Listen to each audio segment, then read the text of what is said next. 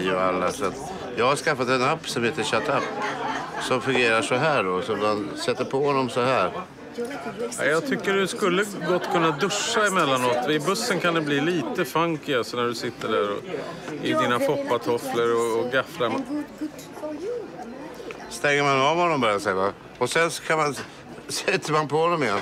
Ja, jag, jag tycker det har varit jättekul att jobba med dig Plura. Du är ju sånt jäkla proffs ut i fingerspetsarna. Fantastiskt, vilken underbar varm personlighet. Pluras kök, det får du aldrig sluta med. Det tycker jag är jätteroligt. Jag får aldrig nog av att se dig bli packad med olika kändisar. Jag tycker det är jättekul verkligen. Ja, så, Nu börjar han bli lite så här dissig igen och då stänger man av honom. Och sen när han kör den här chilenaren så det låter så här också. Ja, då, Plura, du ska jobba i, i din kök när du gör sån... Bröd och du håller på och gör lite chili con carne och såna grejer. Då är du jättedålig för det smakar...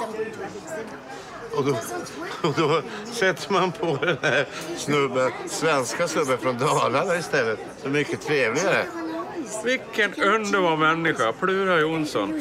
Kan snacka med hög som låg. Han rör sig mellan kungahuset och Kardemoreus. Lika ledigt, lika underbart.